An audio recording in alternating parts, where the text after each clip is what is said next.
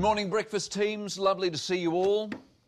These are my survey results. Actually, I don't need to see them. Uh, why? Because I am number one. I'm always number one. But before you check your results, I'm going to offer you some much needed advice for next time. Here's why the Mike Hosking breakfast is number one and you are not.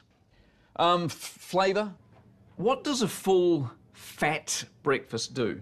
Oh, we play hip hop and R and B, and we make jokes in between the gaps. Oh no no, too too hip hoppy. What? What's wrong with you, Hosking? Radio sport. Here. I heard your show this morning. Oh, what'd you think? Too much sport. You're an idiot, Mike. Wanker. Polly and Grant. Yes, Mike. Uh, so what are you guys up to these days? We've started the hits. No, too hitty. What? Less hits, more talk. Uh, we got a thing. Uh, Fletch, Vaughan, and Megan. Yes, Mike. Where are you? Um, we're in Sydney. Sydney. Sydney's too tacky. You should be in. You should be in Paris. Um, coast, coast. Yes, Mike. More in-depth interviews with key political figures, please. We're about music. Well, at the Mike Hosking breakfast, we're about being number one. Right, sorted. Any any questions? Can we go now? No. Uh, Matt Heath and Jeremy Wells. Please, you could join us. Just getting the drinks, uh, Mike. Tell you what, you underachievers at the Hauraki breakfast, you need more help from me than anybody. We're actually pretty happy with where we're at. Really? Well, let's see how happy you are when you open the old survey envelope. Yes, 12. Top 20.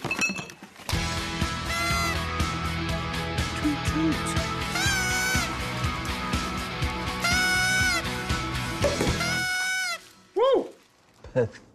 Pathetic.